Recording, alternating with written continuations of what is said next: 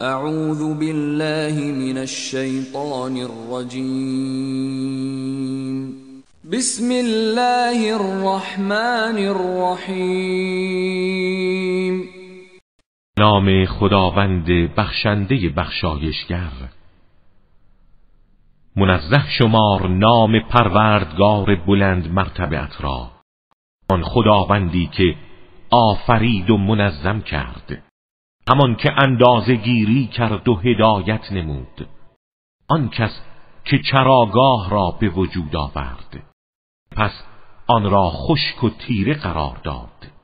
آب به زودی قرآن را بر تو می‌خوانیم و هرگز فراموش نخواهی کرد.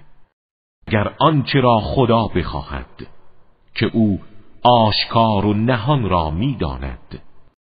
و ما تو را برای انجام هر کار خیر آماده می کنیم.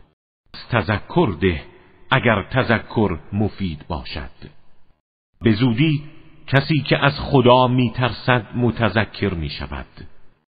ما بدبخت ترین افراد از آن دوری میگزیند کسی که در آتش بزرگ وارد می شود.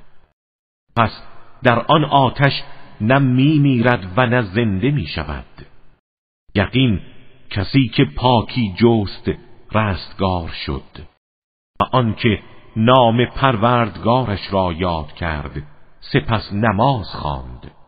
ولی شما زندگی دنیا را مقدم می دارید حالی که آخرت بهتر و پایدارتر است. دستورها در کتب آسمانی پیشین نیز آمده است. کتب ابراهیم و موسی.